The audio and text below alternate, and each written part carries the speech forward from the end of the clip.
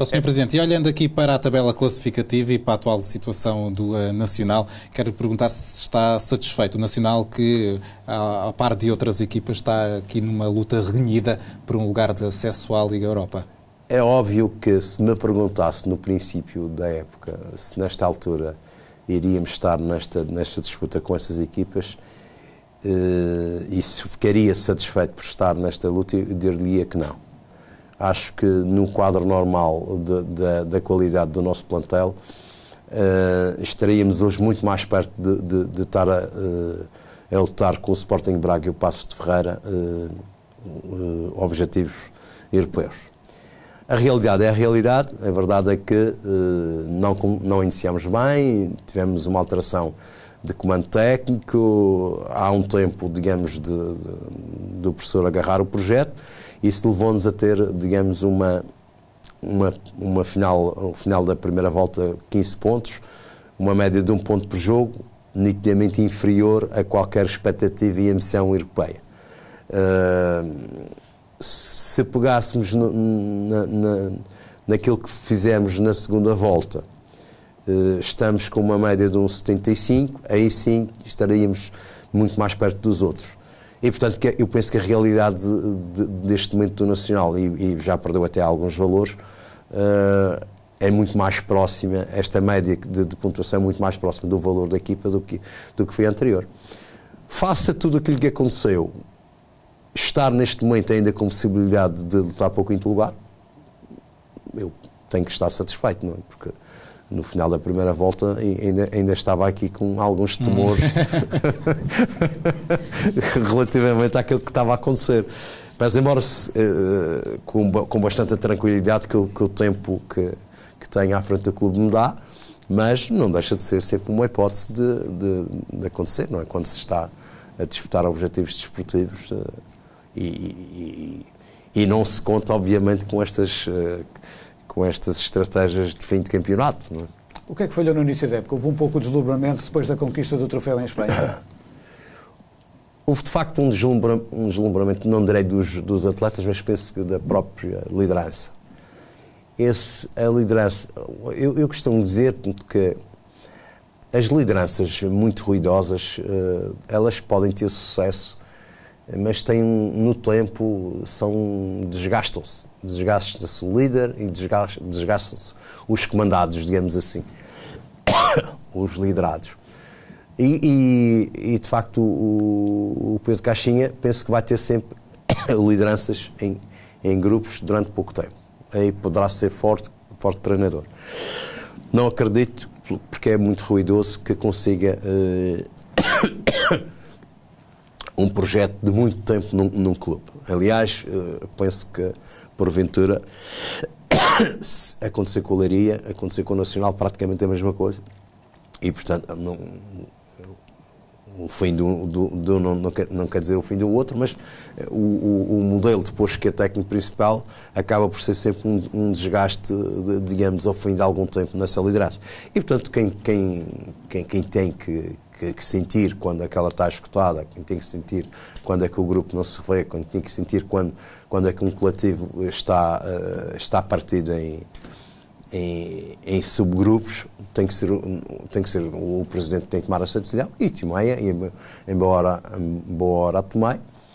Uh, e, e, só é pena que neste momento, obviamente, poderei uh, até dizer que quando, quando contratei o Pedro Caixinha, antes da, da contratação, eh, eu tentei a contratação do professor, não foi possível chegarmos a acordo por razões financeiras, não, um, era, um, era um quadro de dificuldade. Eu que me levou a essa contratação, porque estou, neste momento, pessoalmente convencido de que se o seu professor eh, se juntava ao projeto o ano passado, o Nacional teria ido à Europa o ano passado e este ano já, já tinha praticamente assegurado um lugar europeu. Uh, no último jogo com o Vitória de Guimarães, o Nacional apresentou sete jogadores portugueses, uh, portanto, nos 14 utilizados.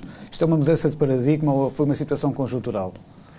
Eu penso que isto não é, não é bem uma mudança de paradigma. Isto penso que, que a situação atual, do ponto de vista económico da, da, no, da nossa vida, uh, obriga-me a, a, mudar obriga-nos a, a, lutar por sobrevivência. Esta situação não é única no Nacional, uh, de algum modo vai-se repetindo, mas ela não, ela não, não, não, não chega só para a decisão do Presidente, mas ela acaba por absorver toda a gente, isto é, o próprio técnico, no quadro, de, no quadro que estamos a viver, uh, disponibiliza-se muito mais para o risco da, da, aposta em jovens do que num quadro em que sente que há recursos para contratar jogadores um pouco prontos, digamos assim. Nesse, nesse, nesse quadro, normalmente, uh, há pouca disponibilidade dos técnicos para correrem riscos. No quadro que vivemos, os nossos técnicos, uh, que têm, têm de facto bastante qualidade, uh, têm criado uma sensibilidade muito grande para uh, entenderem essa, essa. E desse modo resulta daqui um, uma mudança de paradigma. Mas quero lhe dizer o seguinte: vamos voltar logo àquela, à questão, tenho que voltar à questão do alargamento para isto. As pessoas, quando fazem estas Assembleias Gerais e que, e que votam, elas, elas normalmente não, não avaliam bem as consequências do, do, daquilo que, que, vai acontecer. Com os 18 clubes, eu não, a questão não, em abstrato, não me, porque acho que o, o, a curva de receitas de, de, dos nossos clubes é uma curva que começa com, com, com o Benfica Porto, passa o Sporting, Sporting Braga e depois entra num patamar quase plano que é uma dependência muito grande das, das receitas televisivas e as receitas, digamos, associativas são praticamente iguais a todos os, os restantes clubes, portanto, ter 16 ou 18 desse ponto de vista económico, se fosse para, se fosse para analisar economicamente, ficavam seis, acabou. Não é assim, vamos, vamos, vamos tentar que geograficamente este fenómeno que, que apaixona muitos portugueses vá uh, uh, tenha maior cobertura cidades. geográfica. Não, não é por aí. Mas veja, numa altura, numa altura em que os clubes portugueses, por, por, pelas limitações económico-financeiras que têm, têm grande dificuldade em contratar jogadores de qualidade para a Primeira Liga, ou para o nível que se pretende da, da, da Liga Portuguesa no ranking das outras ligas, uh, porque não tem capacidade financeira. económica ou financeira para, para, para, o fazer. Isto significa que uh, resulta daqui um, um, uma, um aumento, uma subida da procura interna. Vamos precisar de mais 60 jogadores, por aí para mais dois clubes. Portugal não é muito grande. Portanto, essa procura interna vai gerar uma, uma competição em relação àqueles jogadores que, porventura, têm qualidade em a Portugal para disputar, para disputar a Primeira Liga. Vai haver tendência para alguma Inflação. uma menor responsabilidade por parte dos dirigentes em tentarem uh, que, uh, contratar jogadores a esse nível. Portanto, a introdução destes, destes, destas duas equipas uh, tem, vai ter este, este efeito. Você não tem dinheiro para contratar lá jogadores de qualidade para a primeira divisão. Não é fácil, de repente, arranjar 60 jogadores portugueses prontos para jogar na primeira divisão. Portanto, os, os que existirem vão ser, vão, ter, vão ser mais disputados.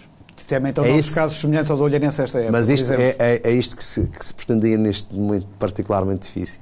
Se as pessoas pensam nisto, acha que as pessoas pensam Mas tem receio que possa acontecer situações semelhantes com o alargamento? Não, a, pode acontecer. A, a, é, é que os clubes, os clubes, eh, os dirigentes são apelidados eh, diariamente de irresponsáveis eh, e não previram isto, não previram aquilo. Esta é uma atividade de, de, que, que, envolve muita incerteza e, e pese embora se possa, possa, possa existir casos, como existem nas empresas, como existem, enfim, em, em qualquer setor da, da, da nossa vida coletiva.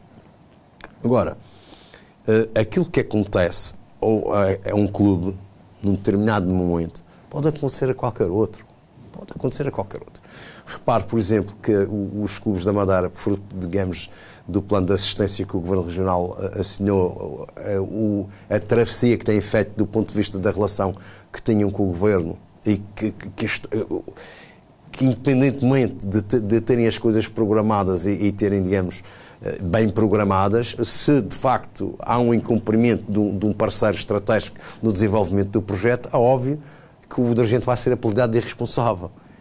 quando não tem, nada tem de irresponsabilidade. Esse, esse, esse, esse incumprimento, esse, esse, esse, esse, esse incumprimento, esse incumprimento uh, está a gerar situações complicadíssimas na Madeira. Felizmente, quer nacional, quer marítimo, tem conseguido nestes, nestes anos de maior dificuldade algumas receitas extraordinárias. Olha, não, não, não se pode proje fazer projetos de, de, de clube, uh, consolidar um projeto numa previsão de receitas extraordinárias.